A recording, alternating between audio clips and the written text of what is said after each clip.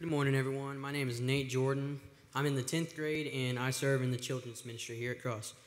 Uh, I'm going to be reading from the book of Acts, chapter 4, verses 1 through 14. The priests and the captain of the temple guard and the Sadducees came up to Peter and John while they were speaking to the people. They were greatly disturbed because the apostles were teaching the people, proclaiming in Jesus the resurrection of the dead. They seized Peter and John, and because it was evening, they put them in jail until the next day. But many who heard the message believed, so the number of men who believed grew to about 5,000. The next day, the rulers, the elders, and the teachers of the law met in Jerusalem. Annas, the high priest, was there, and so were Caiaphas, John, Alexander, and others of the high priest's family. They had begun to question them, By what power or what name did you do this? Then Peter, filled with the Holy Spirit, said to them, rulers and elders of the people, if we are being called to account today for an act of kindness shown to a man who was lame and are being asked how he was healed, then know this, you and all the people of Israel, it is by the name of Jesus Christ of Nazareth, whom you crucified but whom God raised from the dead, that this man stands before you healed. Jesus is the stone you builders rejected, which has become the cornerstone. Salvation is found in no one else, for there is no other name under heaven given to mankind by which we must be saved. When they saw the courage of Peter and John and realized that they were unschooled, ordinary men, they were astonished and they took note that these men had been with Jesus. Since they could see the man who had been healed standing there with them, there was nothing they could say. This is the word of the Lord. Amen. Thank you to Nate. I'm really grateful to have young, faithful men who would uh, risk coming up here to read the scriptures for us. We're really grateful. Uh, we, we, have a great student ministry, a lot of uh, g- godly young men and women, and um, thankful that they can participate in our worship services. Uh, today, what I want to do is talk to you about uh, confidence, and more specifically, confidence in the midst of your circumstances.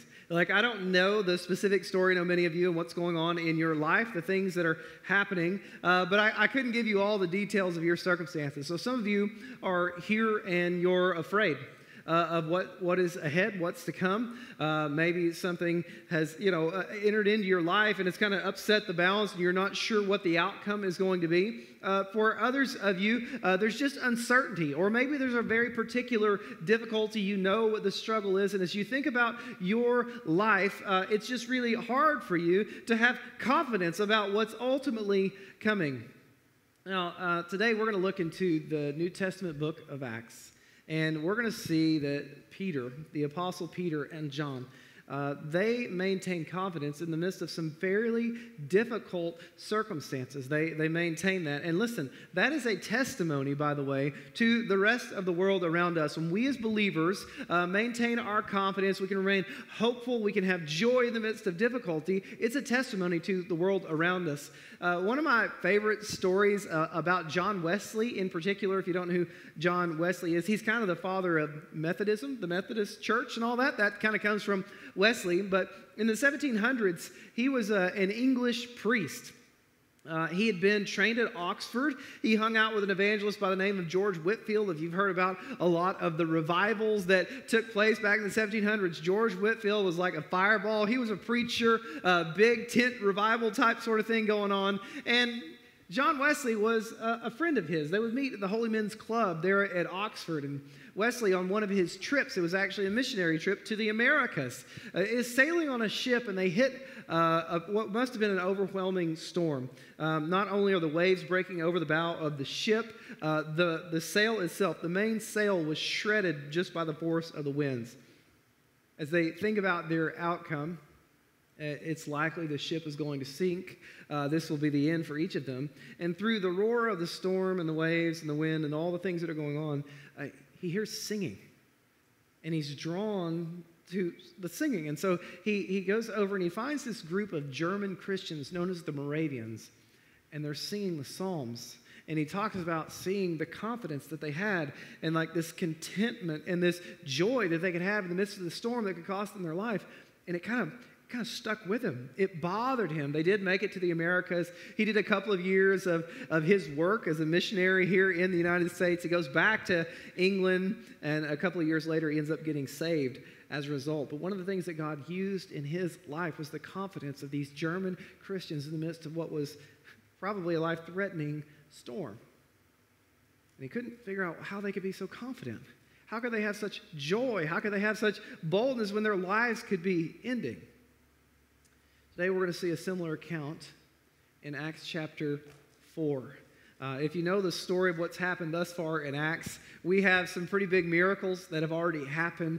Uh, the Holy Spirit comes on the day of Pentecost. People are speaking in languages that they don't know, uh, declaring the mighty deeds of God, and everyone's hearing in their own language. And so people thought they were either drunk or something's happening, but everyone recognized that this was out of the ordinary. The people were amazed at the Spirit of God on this day. If you were here last week, uh, there was a man who had been lame since birth. He's over 40 years old, and the people in Jerusalem are stirred up because as Peter and John came by and said, In the name of Jesus, get up and walk, this man didn't just get up and walk, but he was running and leaping and he was praising God. And so everyone, once again, is amazed. And you just think, and if I'm writing this story, and if I'm writing the story of the book of Acts, man, people are getting saved, people are getting healed, people, I mean, just miraculous things are happening. And it's just going to continue on forever and it's going to be amazing. But that is not how it happened.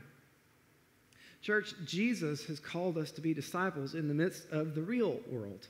Not in the midst of a fake or pretend world where everything is always perfect and life is always easy. Instead, we as believers, we live out our faith in the midst of a fallen and broken world where there's hardship and there's difficulty and there's sickness and there's loss. And so I want you to see the response of Peter and John. Um, the first thing here in verse 4, it says, As they were speaking to the people, they just healed this man. He's out leaping, praising God in the temple. They're sharing the gospel uh, with everyone who will hear, who's amazed at what's happened. And as they're speaking to the people, the priest and the captain of the temple, temple guard and the Sadducees came up to them. This isn't a friendly visit and being greatly disturbed because they were teaching the people and proclaiming in Jesus the resurrection from the dead, they laid hands on them and they put them in jail until the next day, for it was already evening. And everything was rocking along just fine. 3,000 people saved on Pentecost, more out of their number every single day. And then Peter and John got put in jail for what they were preaching. And you would think that people would be afraid to follow Christ at this point you would think, uh, I'm going to think twice about, you know, diving off into that. And yet, if you read verse 4 here, you see what happens when the gospel is pressed, when the church of Jesus Christ faces opposition. What it happened here, and it's happened all throughout church history. This pattern has continued that when the church is persecuted or oppressed or faces difficulty, it explodes. The gospel goes forth. Verse 4 it says, Many of those who had heard the message believed, and the number of men came to be about 5,000. So a couple of thousand more people have been added to this brand new church that was formed on the day of Pentecost as people professed faith in Jesus Christ, repented of their sins. That, like, there is this extraordinary thing happening, but we can't forget that night as they're celebrating and people are being baptized and, you know, high fiving one another, they've come to faith in Christ. Peter and John, they spend the night in prison. And don't miss the weight of these circumstances. In verse 5, it says, On the next day, the rulers and the elders and the scribes, they were gathered together in Jerusalem, and Annas the high priest was there, and Caiaphas and John and Alexander, and all who were of high priestly descent. Listen, the most important, the most powerful people in the most important and powerful city in kind of all of Judaism are gathered together on this day. Now, we don't necessarily recognize all of these names, uh, all of them of high priestly descent. Annas was the father in law of Caiaphas. And if you're not familiar with, with Caiaphas, remember that when Jesus got arrested, they brought him to the house of Caiaphas. This is the high priest. It was in his home where they spat in Jesus' face. It was in the home of Caiaphas where they beat Jesus with their fist, where they mocked him. It was Caiaphas and these same chief priests and rulers and elders who handed Jesus over to Pilate to be crucified. They come and get Peter and John in the morning, they bring them and they sit them before these very same people who had just had Jesus crucified. And Peter and John don't know the outcome. they don't know what's next. So the high priest, they ask him a question in verse 7. It says, When they placed them in the center, they began to inquire, By what power or in what name have you done this? They're talking about a man who was lame from birth, who's now walking. They were amazed by the miracle. They want to know, they want Peter and John to answer the question, By what power or in what name are you doing this? And yet they're not really asking them a question. If you skip back up to verse 2, they knew the answer to the question, and that's why they got disturbed. That's why they were upset and arrested in the first place. In verse 2, it says, being greatly disturbed because they were teaching the people and proclaiming in Jesus the resurrection from the dead. That's why they chose to arrest him. So, in asking this question, maybe it was like a formal inquiry. We need these guys to state exactly uh, what they believe, but more likely, these elders, these chief priests, these rulers, they were trying to intimidate Peter and John. They wanted them to be quiet, they wanted them to be afraid. And maybe they thought, hey, these guys will kind of back off a little bit, say we're not sure, maybe it was just God, maybe they'll be kind of generalize what happened here, but that's, that's not what Peter and John did. In verse 8, it says, Then Peter, filled with the Holy Spirit, said to him, Rulers and elders of the people, if we are on trial today for a benefit done to a sick man as to how this man has been made well, let it be known to all of you and to all the people of Israel. Hey guys, um, we don't just want to stay in this room. I'm going to answer this question for you by what name and by what power this man was made well. Let it be made known to every ruler in all of Jerusalem, all of the people uh, uh, uh that are here, all of you who are in power. And also, we're not going to stop here. We want this to be known throughout all of the nation of Israel. Let it be known to you and all of Israel that by the name of Jesus Christ the Nazarene, whom you crucified, whom God raised from the dead, by this name, this man stands here before you in good health. So Peter and John didn't pull any punches, and they wouldn't have known the outcome. They wouldn't have known was it imprisonment? Was it beatings? Was it suffering? Like, what would ultimately come as a result of them answering full on here? That, you know, just, kind of laying it out there for them. They didn't even hold back the line of Jesus being resurrected from the dead, which is really the reason that the Sadducees were riled up in the first place. You see, the Sadducees didn't believe in the resurrection from the dead. And so, not only did they declare in Jesus' name that these miracles had happened, they also declared Jesus has risen. There is a profound boldness here in the midst of men who could punish them, harm them, per- perhaps even put them to death, Peter declares boldly uh, what has just happened. In verse 11, he says, He is the stone which was rejected by you, the builders, but which became the chief cornerstone. He's quoting Psalm 118. He's like, Remember the psalmist? Remember the prophecy about the Messiah? And that was Jesus. He was the one whom you rejected. He's the chief cornerstone. Jesus is the one, the cornerstone, the stone on which every other thing is built. It's the one by which every other stone is ultimately said to be right and true and in the right place, right? Jesus is the center of Christianity. Jesus is the center of our relationship with God. Jesus is the one we're supposed to focus on. And then he says in verse 12. Now, let's, let's be honest this was a claim that, that would have been controversial back then, just like it is today. I mean, if you were to make this claim publicly, go on television or the radio, this would be really hard for people to hear.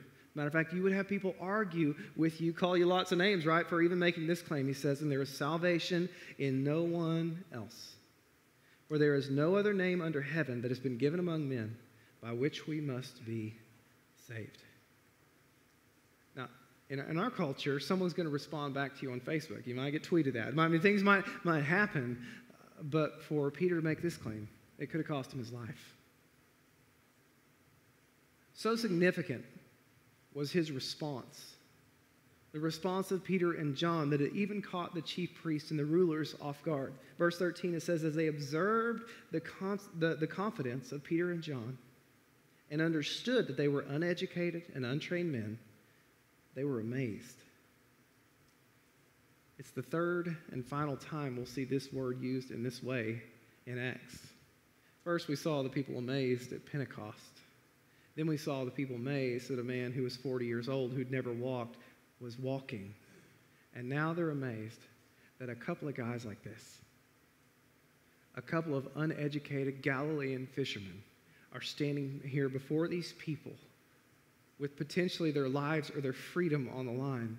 And with boldness, they are declaring the truth of the gospel. Observing their confidence, they understood that they were uneducated and untrained men, and they were amazed and began to recognize them as having been with Jesus.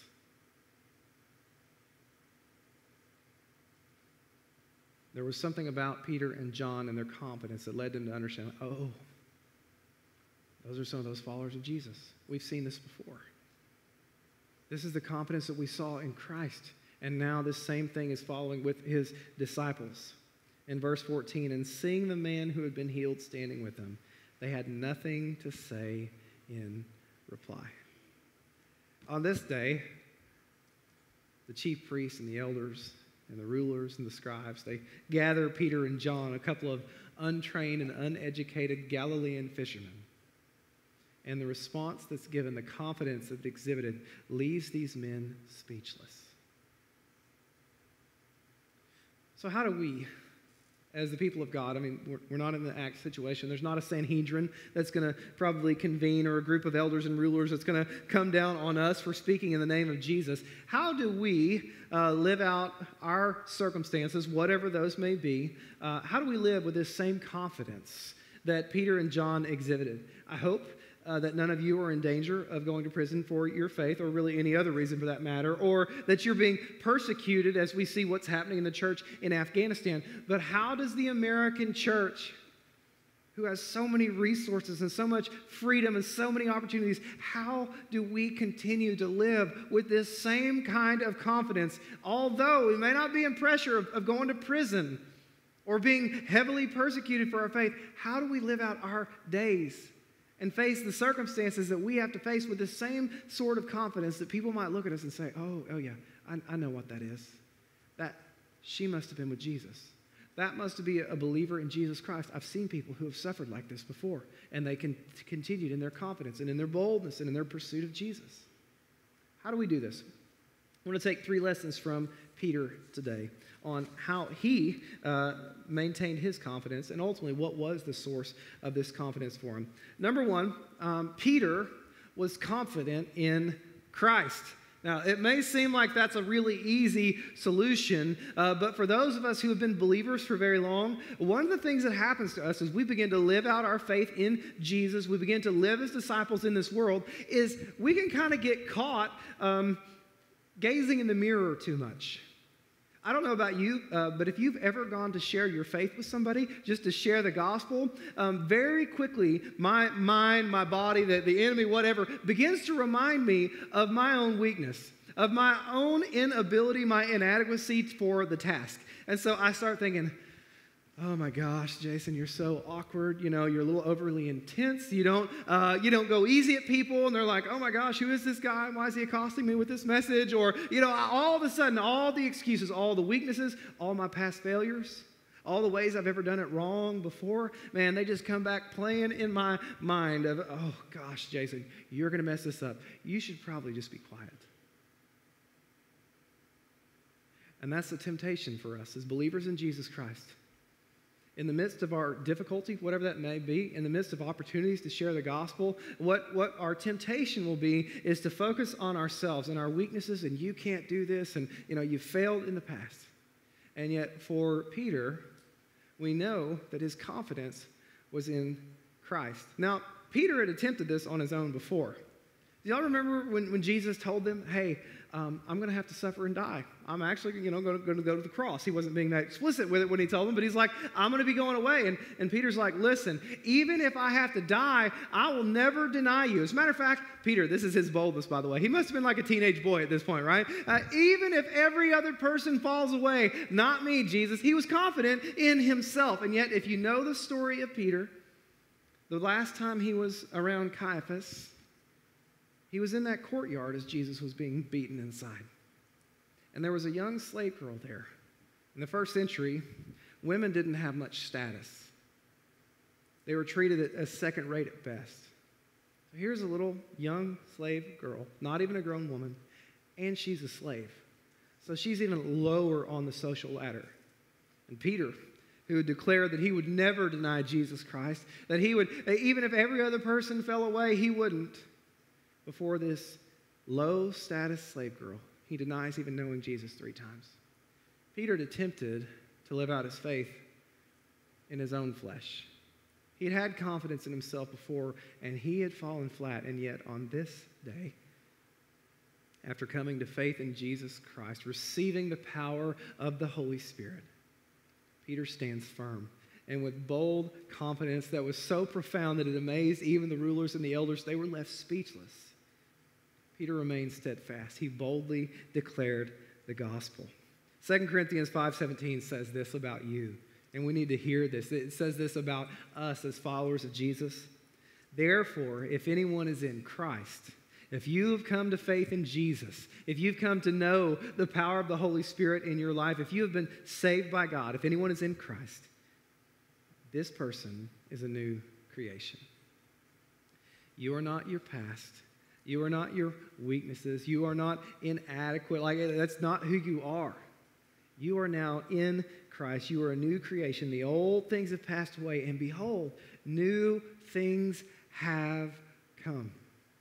So, for us, living out our circumstances in the midst of this life, and yes, we do still have weakness of our flesh. It still was true of Peter and John. They were unlearned and unschooled, and yet they responded with this bold confidence on this, on this day because their confidence was in Christ. And so, for us, I don't know what the circumstances might be.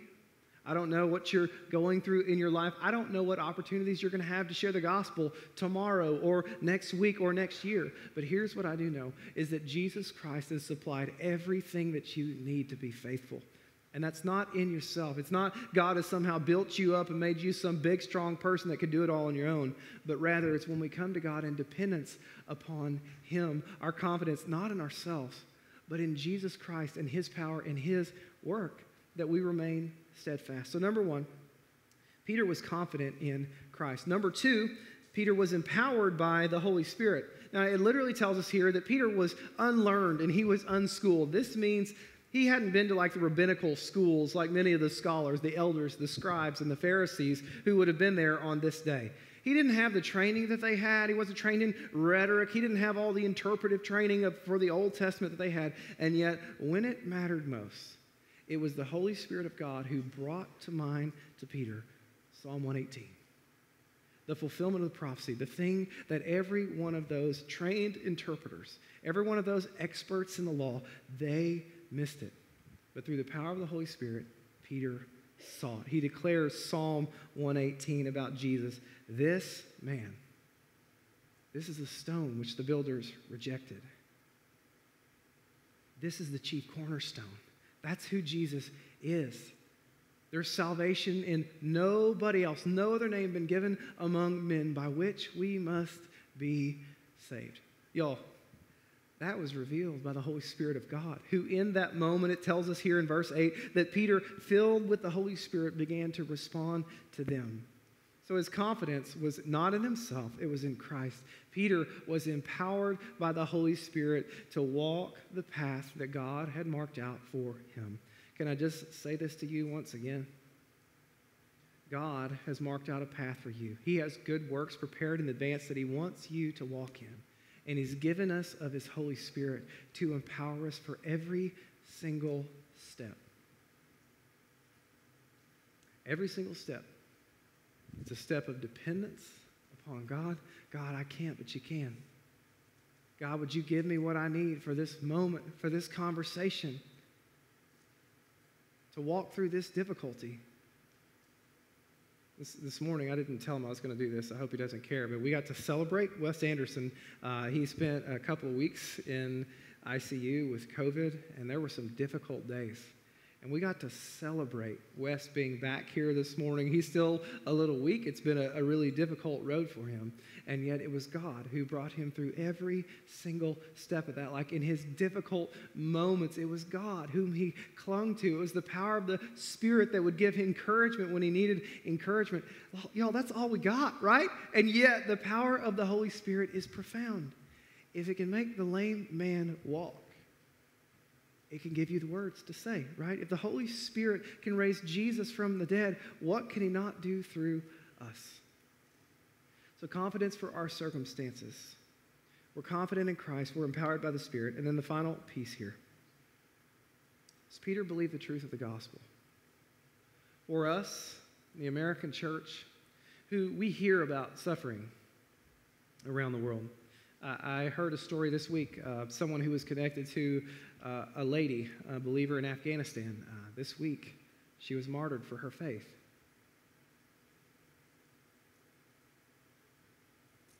I don't know many more details than that. In following after Jesus Christ, she remained steadfast in the end, and she died for her faith. And yet, here we are as American Christians, not to minimize the difficulty that we go through. We're not going through that. Um, but how do we continue to live with this boldness and confidence in the midst of our freedom, in the midst of our comfort, in the midst of all that God has given to us? Church, we have got to believe the truth of the gospel and not get distracted by all the other stuff. What if we really believed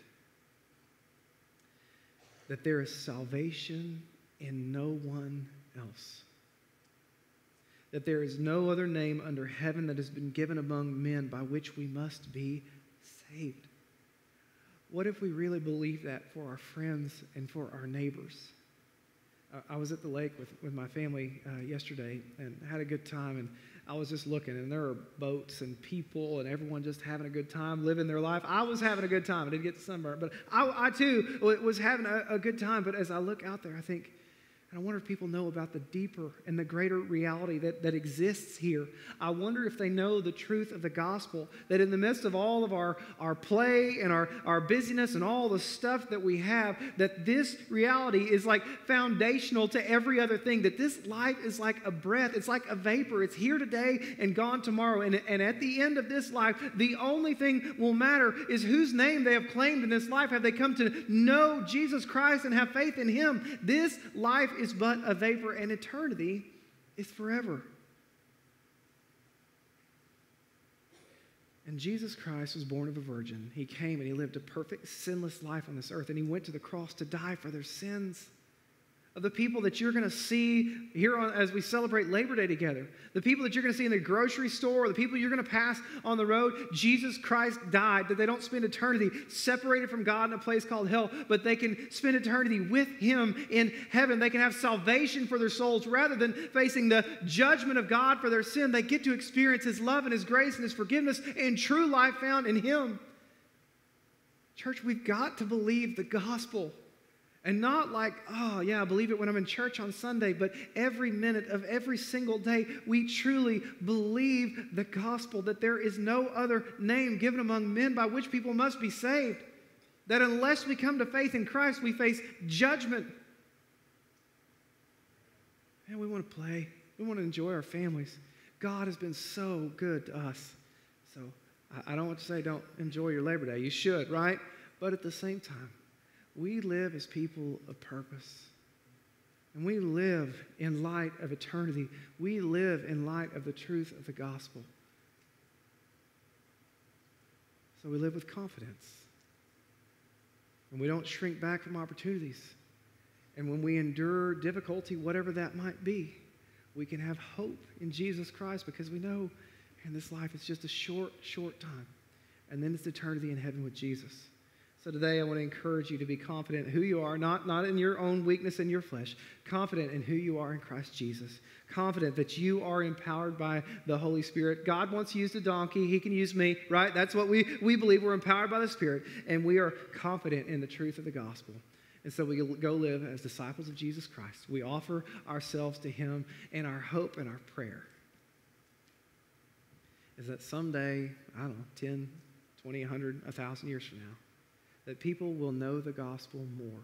That the gospel message would have spread more and more because he used people a lot like us, that some people might describe as unlearned and unschooled, ordinary Galilean fisherman type people just like us.